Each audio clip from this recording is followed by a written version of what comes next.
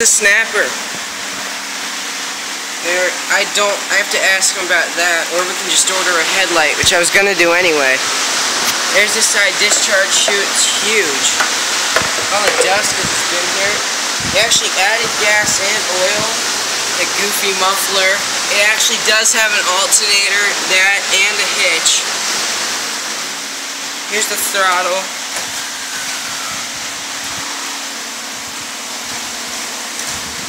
Okay, it has the deck height adjustment.